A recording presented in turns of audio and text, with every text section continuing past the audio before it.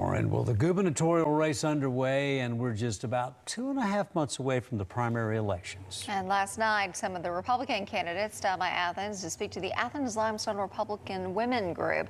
Uh, News 19's Hannah Jones joins us live and has details on how that went. Hannah?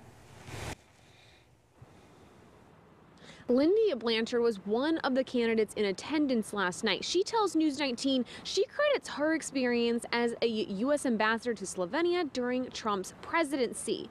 Now, when it comes to COVID 19, Blanchard calls herself a quote, no COVID mandate candidate. She says state mandates are a form of overreach, adding that everyone should have the opportunity to decide if a COVID vaccine is right for themselves. And another hot topic of the night gas prices and Governor Ivey's gas tax. In 2019, 2019, Ivey signed a bill that would raise Alabama's fuel tax by 10 cents over three years to increase funding for roads and bridges. But candidate Lindy Blanchard tells News 19 her team asked Governor Ivey's office about how the gas tax was benefiting the state and got no answers.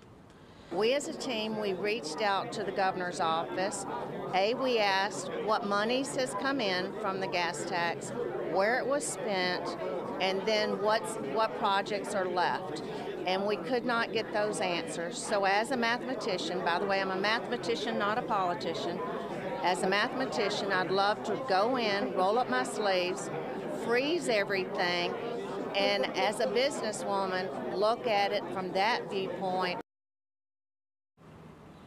Candidate and pastor Dean Odle was also in attendance. He says he made the decision to run for governor following Governor Ivey's handling of the pandemic. Odle says as governor, he would focus on keeping the state free from COVID mandates and to allow parents choose where their children attend school. Now, candidate Tim James was also in attendance. We'll have more coming up from him in the next half hour. Live this morning, Hannah Jones, News 19.